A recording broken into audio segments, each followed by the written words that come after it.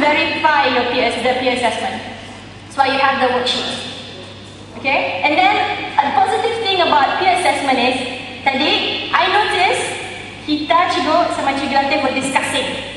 Macam, eh kalau aku jauh-jauh aku tandang ni, hampir ke sini biar dia berlari. That's what you want to hear. Because you are communicating. Like I said, this peer, both of us yang peer, are communicating with, communicating with one another. Because sometimes, us teacher can't relate to what their lingo is. Or what the language yang dorang pakai kadang-kadang. In terms of language, adalah dorang punya terms. Like cool dia apa, okay I don't really know what's going on. Like what's up dia, you know those lingos. So kadang-kadang they have, they can explain to one another. So that's the wonderful thing about peer assessment. Okay? Alright, so far any other questions on peer assessment and teacher assessment? Alright, with regards to teachers and peer assessment, I know it's very challenging to teach your students on how to accurately assess. But this is the point of SPN 21. Teachers are the facilitators. We want it to be student-centered. Am I right? So that's why we need to put responsibilities for the students. Okay, I know, I believe that if we, it's going to be hard in the beginning because it's quite new okay, for the students to have more roles, but in the long run, okay, it will be a very nice outcome. Okay, take example from our students uh, young year 9 and the MF4 combined, we can see the difference in terms of their creativity and questioning. Okay, this is what we need to achieve in the future. We want our students to be more dynamic. Okay? Think that's all from me for now. Right, to wrap up, no other questions? Oh, uh, activity. Uh, one of the teachers, Jizo kalau kita bertanya tadi kan, pasal the equipment, variation of equipment in the game. We use kickworks and it was raga, bola raga.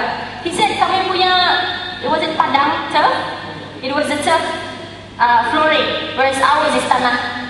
So what you can do is you can very, uh, how do you say, uh, differentiate, not really differentiate, you can um, adjust the equipment. Instead of bola raga, maybe you can use bola futsal yang in the bounce yang tinggi. Or if you want to do it in the gym, you can roll up.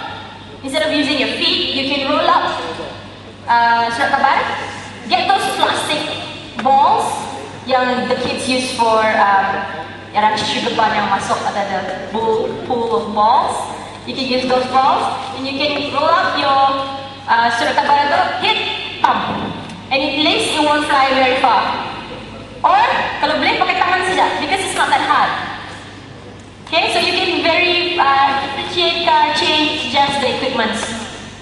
Okay, so that's what's the wonderful thing about TGFU. But you still can assess the same concept. Okay? Alright, so that's for the feedback on activity. Students sudah tadi, the assessment, interview. Now, what you need is to be creative. Yes, sometimes it's a bit difficult to come up with other games, but sometimes with trial and practice, you can get new games. You have to be creative. Right? Our game just now was a combination of kickball and this game called Fireworks with Chigu. Uh, I'm sure Latif can verify with me, right Chigu? Tadi was called Fireworks, kan? But instead of uh, the hit ball, the implementation we use pakai kaki. So that's why I call it. So it's a mixture. And then you have to organize your lessons and be prepared. As you can see, we prepare with worksheets, we prepare with videos, as well as the diagram on how to play. Alright? Then trial and practice. Definitely in this situation, it makes it perfect. Alright? Now, Chigu, you have your break until 10.30, and then we start off with TGFU in invasion. Alright, you can have your break now. Thanks, teachers.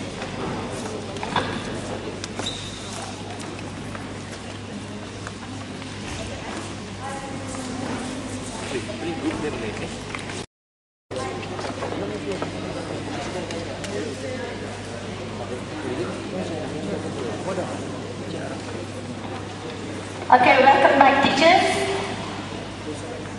Yeah, just to recap, not in, on invasion, but first of all, it's me again, Chidu Masnor, or more familiar, but familiarized by the name Chigupai. Any other way, it's still my name. Uh, yeah, as long as you still remember me throughout your lifetime.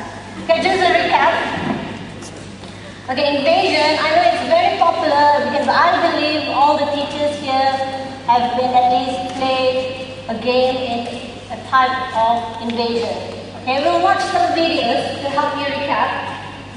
But uh, before I show you, who can give me an example of an invasion game?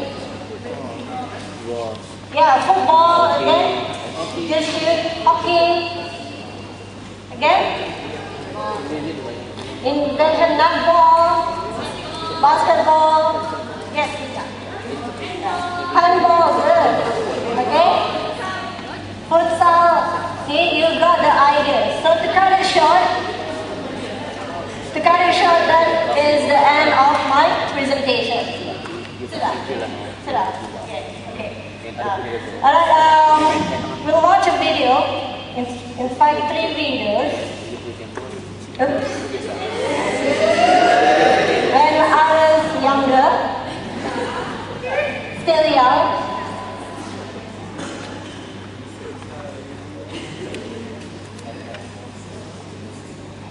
PG rated.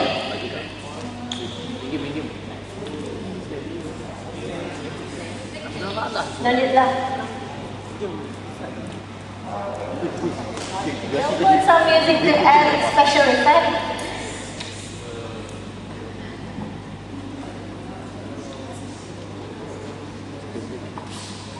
Any male teachers have any idea where I got this from? FIFA? 11. Because Nasik wants this for his birthday and this is the only gift that I can give it to him. On the slide. Not real thing. They will see.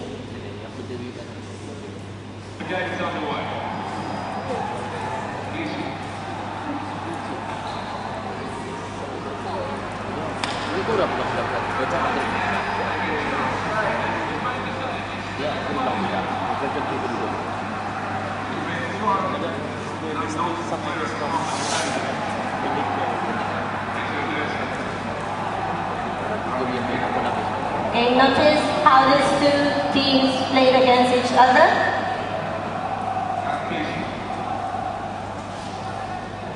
Good job.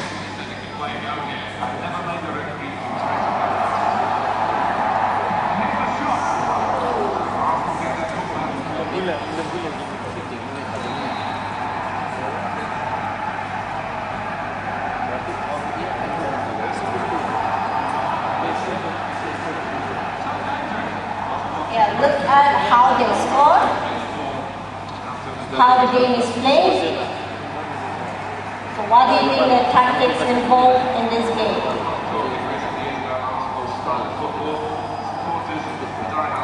Stop it now? You don't like Arsenal? Shall we watch Liverpool?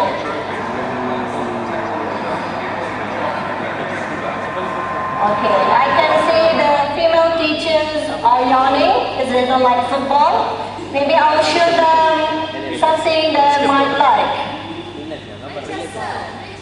Okay, kalau Manchester, kalau Manchester, my laptop definitely died down. Okay. Okay. Oh, boys like it too. More skin. Involved. Jadi misalnya ada lebih saya kira bagi orang sport. The umpire is actually a male.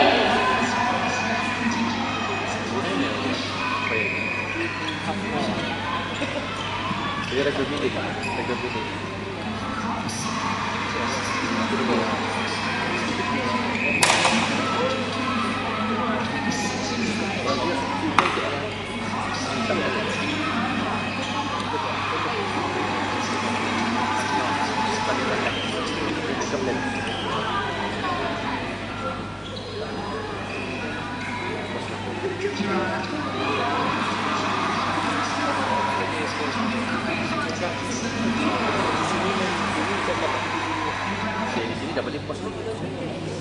Sini dapat di pos lah dapat bilik lah. Pasti sana dah ada pos. And I'll show you my favorite spot. Yeah.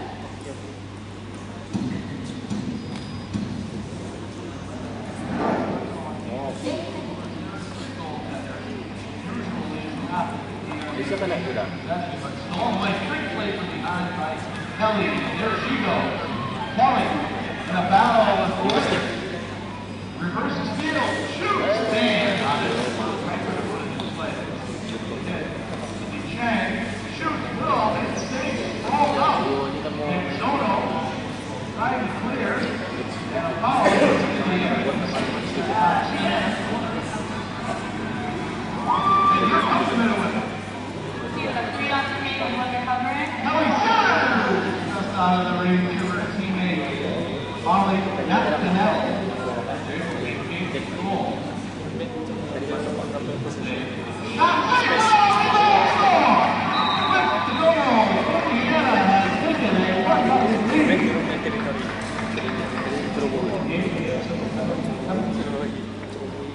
Okay, that should give you a rough idea of Dia bilang dia dia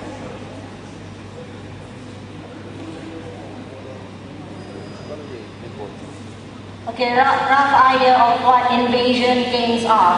Okay, I'm sure every teachers in this group, okay, every participants will have familiar with all the sports because they are the commonly played in Brunei. Okay, first of all, what do you think is the common things that involve in all these three sports? Okay, teachers? Yes? Music? Teamwork. Very good. Next, don't be afraid to get wrong in this. We are here to learn. We are here facilitators to help and we learn from each other. Team? Coordination, very well. Yes, they have a target to shoot. They have a target to score. Yes. Defending, placing, well. They must be able to run into space. Any other?